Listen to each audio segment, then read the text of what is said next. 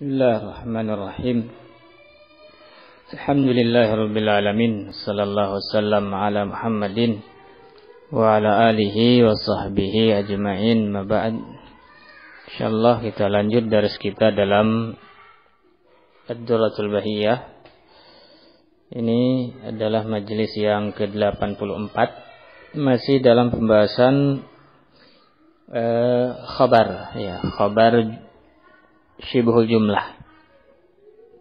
Kemarin kita sudah membahas bahwasanya termasuk bentuk khobar adalah syibhul jumlah dan bahwasanya syibhul jumlah itu mencakup jar marjurur dan zaraf. Sekarang kita akan bahas tentang zaraf zaman. Ya. Ta'lik tentang zaraf zaman. Kata beliau rahimahullah dalam matan wala yukhbaru bi dzarfi zaman 'anil zat. Zarf zaman tidak bisa menjadi khobar ketika mubtada'nya itu berupa zat. Ya. Benda ya. Eh, contoh zat seperti eh, Zaidun, Baitun, ya. Farasun ini zat. Fala yuqal Zaidun al-yawma. Ini enggak bisa. Zaid pada hari ini. Ya. Karena tidak bisa menghasilkan makna yang sempurna. Ya, tidak menyampaikan pada maksud, masih mubaham maksudnya. Wa inna ma yukhbaru bihi 'anil ma'ani. Zarf zaman bisa menjadi khobar jika mubtada'nya berupa makna yaitu Eh, berupa makna seperti as-saum. Ya.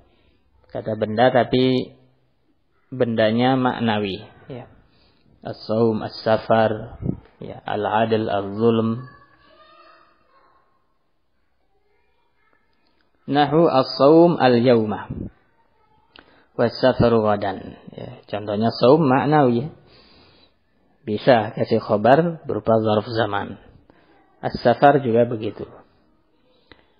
Kemudian ternyata dalam kalam Arab ada yang menunjukkan bahwasanya zarf zaman bisa untuk menjadi khobar isim yang sifatnya maknawi. Bagaimana dijawab itu? Contohnya al-lailata al-hilalu. Ya apa bisa menjadi khobar untuk mubtada yang zat. Contohnya al-lailata al-hilalu. Ya. Ini berarti bertentangan dengan kaidah. Ya. ya. kata beliau jawabannya itu muawwal. Yaitu ada yang dihapus. Ada yang dihapus. Al-lailatul hilalu maksudnya ru'yata ru'yatul hilal al-lailata. Kegiatan melihat hilal akan dilakukan pada malam ini. Ya. Adapun hilal al-lailah hilal pada malam ini ini jumlah yang ghairu mufidah. Kita baca syarah. Qala rahimahullah qawluhu 'anil zat. Qala fi syarhil jami' az-zat wal jauhar wal 'ain wal jussah. Alfadhun mutaqaribah. Ya. Ada empat istilah. Zat, jauhar, ain, jussah. Ya.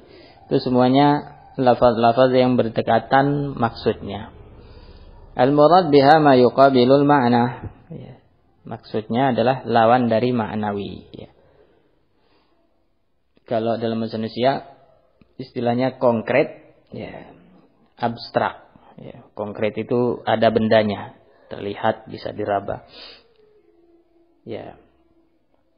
Ada yang abstrak ya maknawi seperti keadilan, kezaliman, ya, dan seterusnya. Walhasilu mimma zakarahul musannif kesimpulannya adalah anna zarfa imma makaniyun wa imma zamani. Ya, zarf itu dua macam saja, ya. Makan atau zaman. Fa in kana makaniyan jaza an yukhbara bihi an asma'iz zawad wal ma'ani. Ya.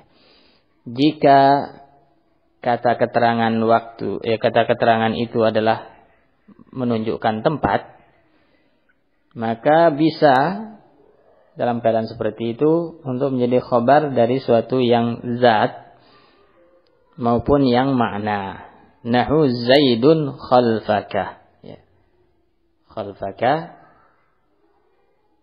uh, zaraf makan. Zaidun dia makna ya, zat. Al-ilmu indaka bisa juga. Ilmu itu makna. Wa in kana zamaniyan kana atau marfu'an atau majruran ya. kalau kata itu keterangan waktu baik dia marfu atau mansub atau majrur ya pokoknya nama waktu jaza an yukhbara bihi an asma'il ma'ani duna zawad bisa kata keterangan waktu itu untuk ya untuk isim makna saja. Adapun zat tidak bisa. Fatakul as-saum al-yawma was-safaru ghadan lihusulil faidah. Bisa. Ya. Khobar untuk satu yang sifatnya ma'nawi. Karena kita bisa pahami. Maksudnya. Wa amma qaulul Arab ya. apa wala taqul Zaidun al-yaumu bi raf'il yaum. Tapi tidak boleh, tidak bisa kita bilang Zaidun al-yaumu. Ya. Dengan merofakkan yaum. Wala Zaidun yaumal jum'ah, Zaid pada hari Jumat juga enggak bisa. Tidak berfaedah. Wala Zaidun fil yaum bil jar li faedah. Semuanya sama. Tidak bisa menunjukkan makna sempurna. Butuh keterangan tambahan lagi. Ya.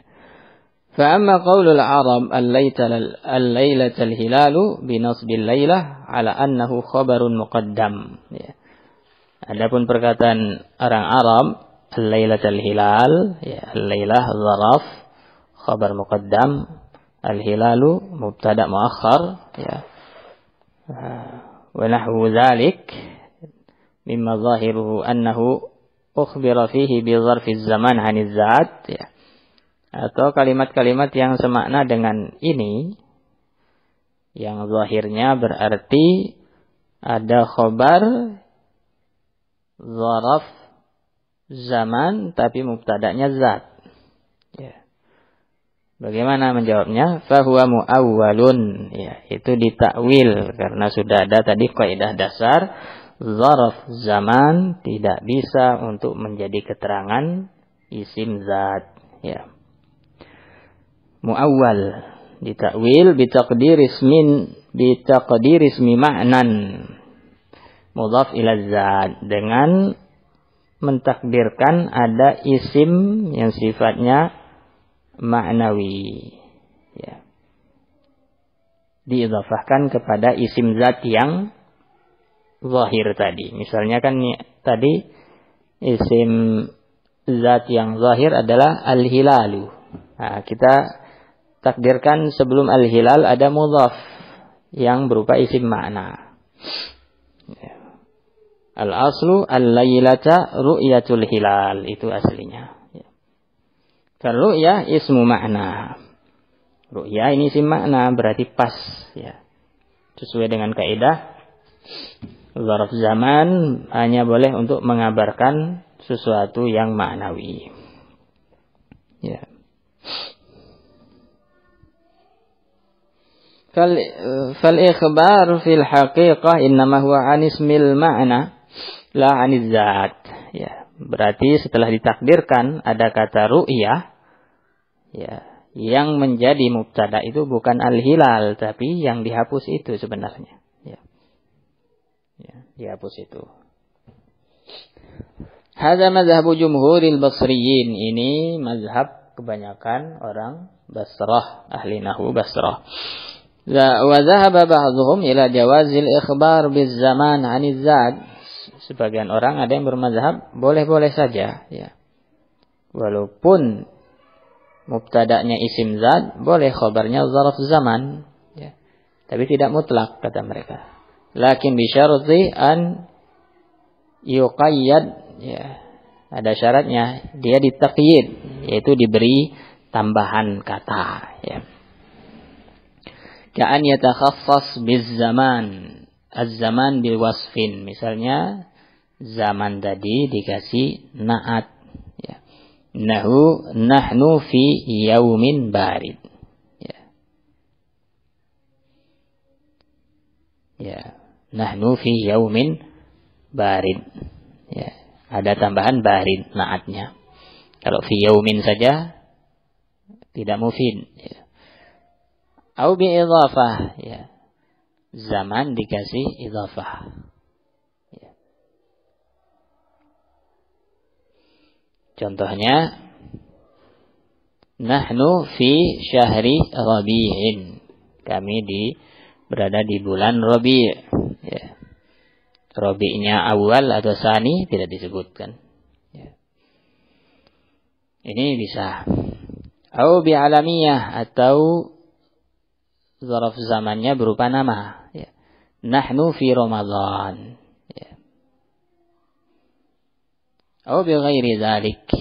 Atau kait-kait yang selain itu. Fa in lam yuqad fa in lam yufid lam yajuz. Ya. Kalau tidak seperti itu, tidak berfaedah maka tidak boleh. Ya. Jadi yang dihafal kaidah dasar ya. Zaraf zaman la yukhbaru bihi haniz zawat illa idza ufida atau illa idza afada kecuali kalau dia berfaedah yaitu bisa memberikan makna ya yang tidak butuh khobar baru ya kemudian masuk ke matan berikutnya yaitu khobar kalau kita lihat di contoh-contoh sebelumnya, khobarnya selalu satu. Ya. Sekarang boleh enggak khobar itu lebih? Kata beliau, wa yajuzu ta'addudul khobari. Boleh khobar itu berbilang, ya, lebih dari satu. Nahu Zaidun katibun syair. Ya, khobarnya dua.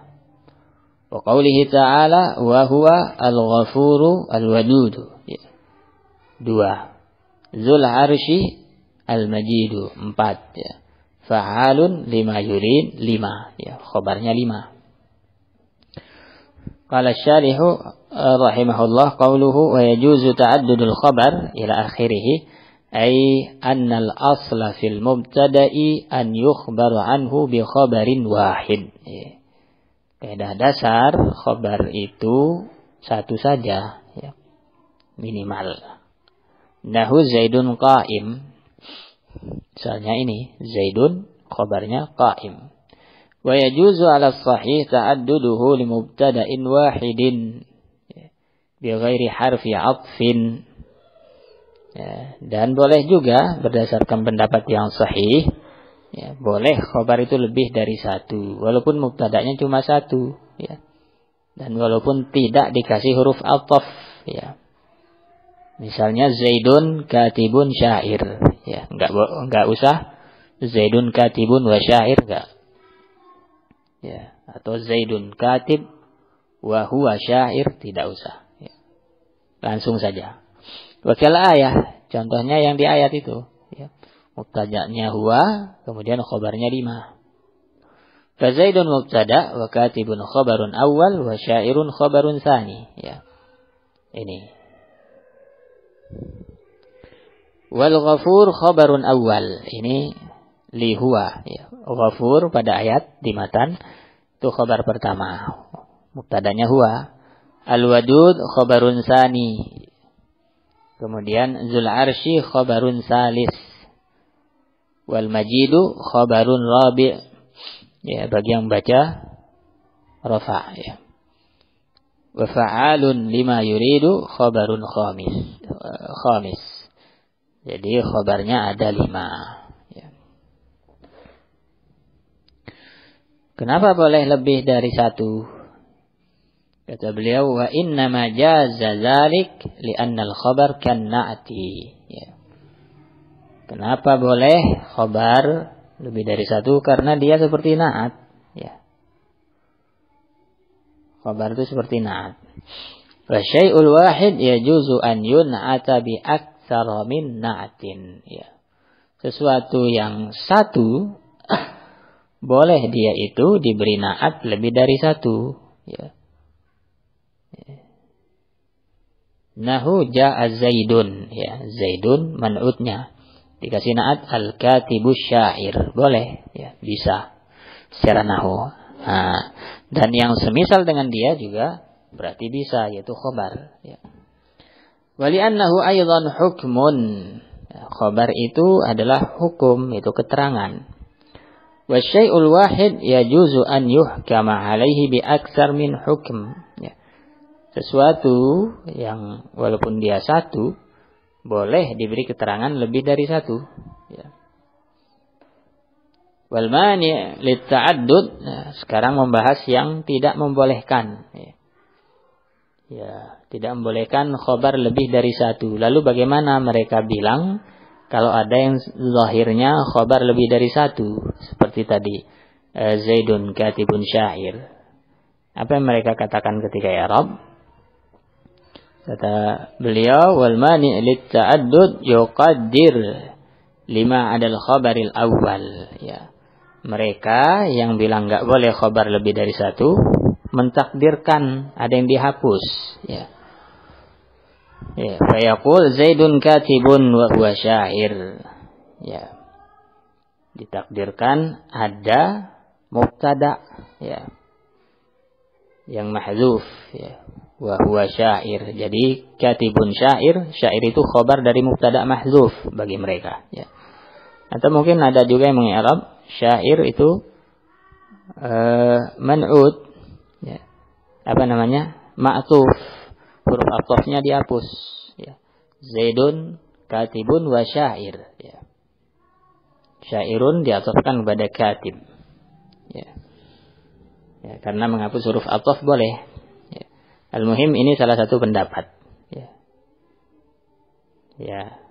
Jadi model tidak berubah. Cuma yang berubah itu i'rabnya nanti. Ya.